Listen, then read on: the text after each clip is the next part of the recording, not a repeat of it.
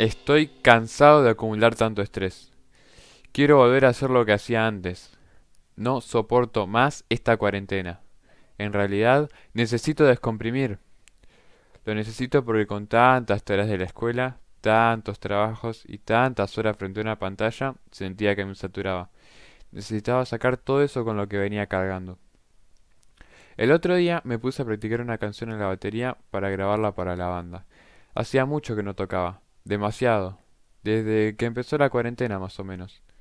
Ensayé unos 40 minutos, pero eso fue suficiente para darme cuenta de algo.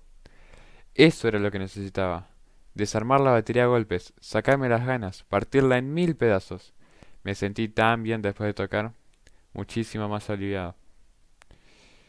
En la normalidad, fuera de la cuarentena, yo estaba tocando la batería constantemente, desde los 6 años hasta el año pasado porque ya me recibí profesor de batería.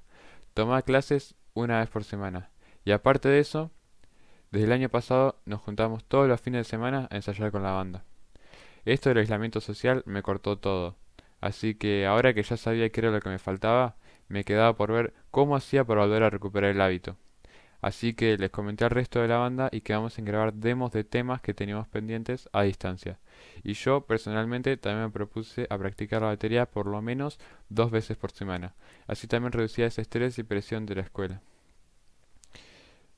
Yo creo que a todos nos afectó en algo este aislamiento social y encierro domiciliario. Y también creo que podemos encontrar un instrumento de descompresión al cual recurrir cuando sentimos que no podemos más.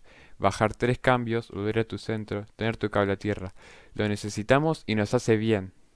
Quizás tengamos que adaptarlo. Tenemos que buscar la manera de realizarlo desde nuestras casas o bajo las restricciones que tenemos actualmente. Por ejemplo, si te gustaba hacer deporte, puedes buscar rutinas en internet que puedas hacer desde tu casa. Si eras una persona muy sociable, te invito a que llames a tus amigos o organices videollamadas entre varias personas. Así puedes hacer un poco esa necesidad. Y para vos, ¿cuál es tu instrumento de descompresión? Feliz jueves y muchas gracias.